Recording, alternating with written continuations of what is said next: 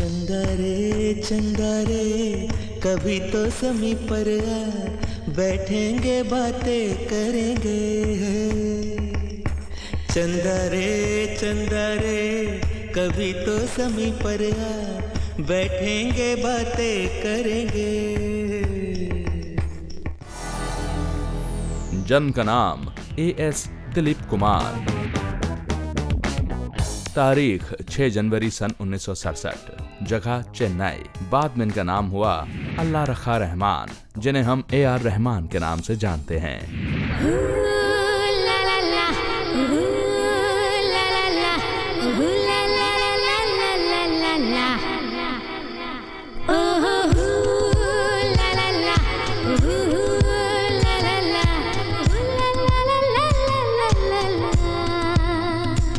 A R Rahman, जिन्होंने छोटी सी उम्र में इतिहास रच दिया था, और उसके बाद वो काम कर दिखाया, जिससे भारत का सर विश्व भर में और ऊँचा हो गया। जीता इन्होंने academy award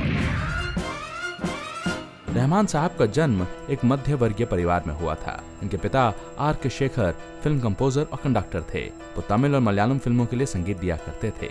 A R Rahman ने अपने पिता को कुछ वक्त तक असिस्ट किया। उनके लिए ये कीबोर्ड प्ले किया करते थे। पर जब ए आर रहमान बहुत छोटे थे, तभी इनके पिता की आकस्मिक मृत्यु हो गई। और इनके पिता के साथ जो कि किराए पे दिए जाते थे, उससे जो भी पैसा आता, उससे इनके परिवार का भरण पोषण होता।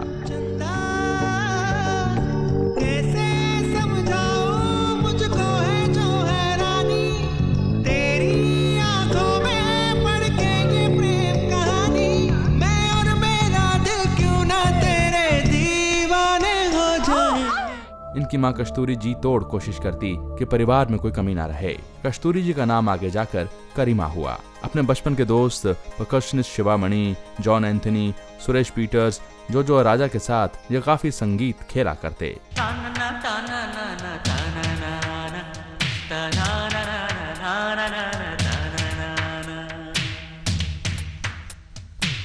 सातों सुर मिल जाए तो रस खोले ये प्यारी प्यारी बांसुरी की धुन बोले।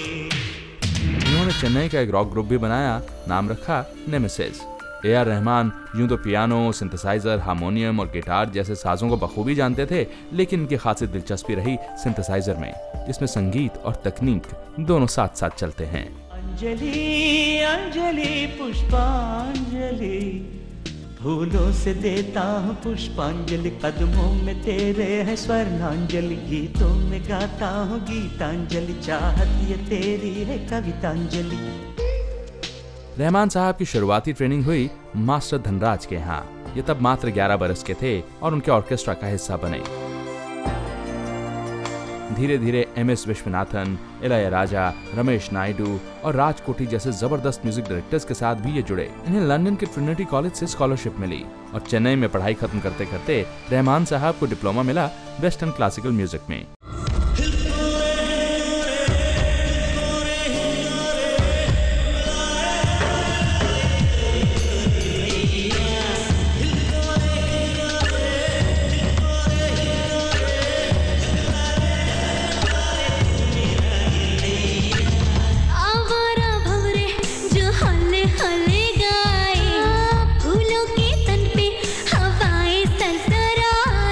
सन उन्नीस वो वक्त लेकर आया, जिसने इनके परिवार का रंग रूप बदल दिया। इनकी छोटी बहन बहुत बीमार थी और इनकी माँ पर सूफियाना इबादत का असर बढ़ता जा रहा था और फिर इन्होंने अपना धर्म परिवर्तन किया। इनकी माँ कस्तूरी से करीमा बनी और ए एस दिलीप कुमार बन गए अल्लाह रखा रहमान।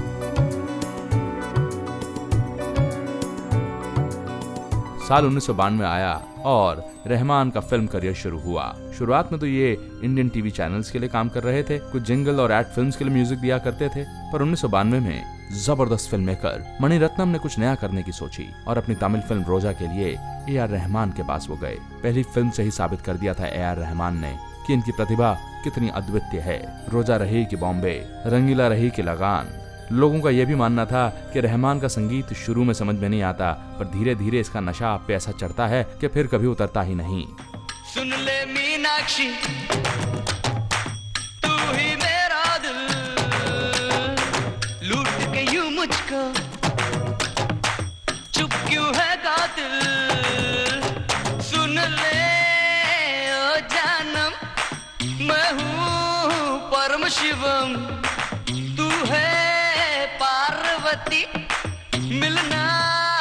जन्म जन्म। जावेद अख्तर साहब गुलजार साहब वैरा मोथू साहब और वाली साहब जैसे ज़बरदस्त कवि और गीतकारों के साथ इन्होंने काम किया है।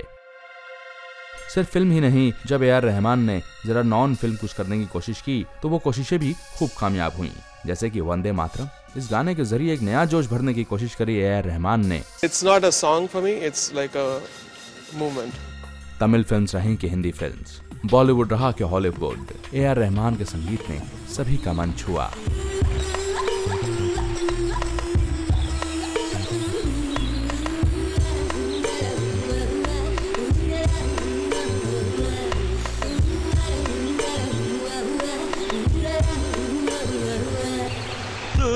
जा मुझसे पास कहता हूँ तुझसे पास मेरा तन प्यासा, मन प्यासा।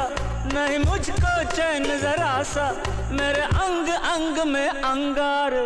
ए आर रहमान को मॉरिशस नेशनल अवार्ड और मलेशियन अवार्ड से नवाजा गया। इन्हें चार बार नेशनल फ़िल्म अवार्ड से नवाजा गया है और छह बार ये तमिलनाडु के स्टेट फ़िल्म अवार्ड्स जीत चुके हैं। और फ़िल्म फेयर अवार्ड्स की फहरिस्त तो बहुत लंबी है। भारत सरकार ने इन्हें पद्मश्री से सम्मानित किया। ए आर रहमान के निजी जीवन की तरफ़ रुख करें तो पता चलता है कि इनका विवाह सायरा बानो जी से हुआ। इनके तीन बच्चे हैं, खतीजा, रहीमा और अमीन। भारतीय सिनेमा ही नहीं, बल्कि विश्व सिनेमा में ए आर रहमान का नाम हमेशा गर्व से लिया जाएगा।